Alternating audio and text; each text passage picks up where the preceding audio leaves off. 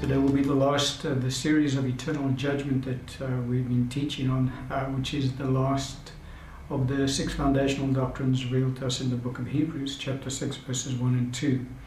And uh, we've been dealing with, um, of the previous teaching and in this teaching, we're dealing with the topic of the unbelievers' judgment that they will incur uh, on their day of judgment. And we saw in uh, the previous teaching that uh, the unbelievers will incur their judgment at the second resurrection. More tolerable on that day for Sodom than for the city that rejected the gospel being preached. And so, very clearly, there is going to be varying, varying degrees of punishment that will be incurred on their day of judgment.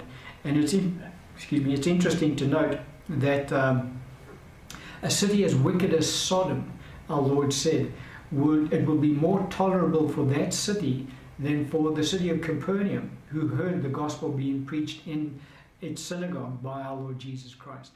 Um, all flesh shall come to worship before me. And so we will observe the Jewish feasts now, they, they observe the Sabbaths and the new moons.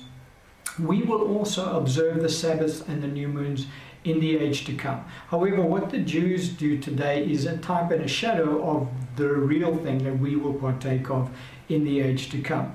Um, and we're not going to get into that teaching today, but that's just what I, you know, because we, we've read it in the scripture, I just wanted to make the comment.